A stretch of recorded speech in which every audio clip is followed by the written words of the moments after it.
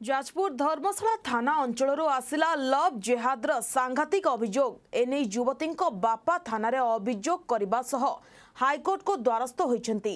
ତାଙ୍କ ଝିଅକୁ ଅପହରଣ କରି ନିଆଯାଇ। ଏବେ ନିର୍ଯାତନା ଦିଆଯାଉଛି ଏବଂ ଧର୍ମ ପରିବର୍ତ୍ତନ ପାଇଁ ଧମକ ଦିଆଯାଉଥିବା ସେ ଅଭିଯୋଗ କରିଛନ୍ତି। ପାଖ ଗାଁର ଶେଖ୍ ଅବଦୁଲ ଓର ବବି ତାଙ୍କ ଝିଅଙ୍କୁ ଅପହରଣ କରିନେଇଥିବା ସେ ଅଭିଯୋଗ କରିଛନ୍ତି।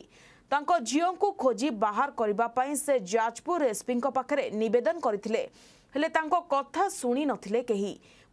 ଯୁବତୀଙ୍କ ବାପା ଏନେଇ ଅଭିଯୋଗ କରିଛନ୍ତି ଏବେ ଯୁବତୀଙ୍କ ପତ୍ତା ମିଳୁନାହିଁ। ତେବେ ଯୁବତୀ ତାଙ୍କ ମାଙ୍କୁ ଫୋନ୍ କରି ତାଙ୍କୁ ଶୀଘ୍ର ଉଦ୍ଧାର କରିବାର ଏକ ଅଡିଓ ଭାଇରାଲ ହୋଇଛି ଯାହାକୁ ନେଇ ଧର୍ମଶାଳା ଅଞ୍ଚଳରେ ଚାପା ଉତ୍ତେଜନା ପ୍ରକାଶ ପାଇଛି।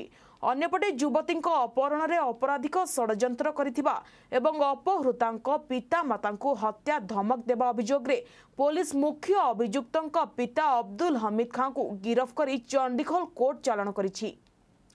ଜେଏମ୍ଏଫ୍ଏସ୍ସି ଜାମିନ ଆବେଦନର ଶୁଣାଣି କରି ଅଭିଯୁକ୍ତଙ୍କୁ ଚଉଦ ଦିନ ପାଇଁ ବିଚାର ବିଭାଗୀୟ ହେଫାଜତକୁ ପଠାଇ ଦେଇଛନ୍ତି ଅନ୍ୟପଟେ ଝିଅର ଜୀବନ ପ୍ରତି ବିପଦ ରହିଥିଲେ ବି ଅପହରଣର ଦଶ ଦିନ ପରେ ମଧ୍ୟ ପୋଲିସ ତାଙ୍କୁ ଉଦ୍ଧାର କରିବାରେ ବିଫଳ ହୋଇଥିବା ତାଙ୍କ ବାପା ଅଭିଯୋଗ କରିଥିଲେ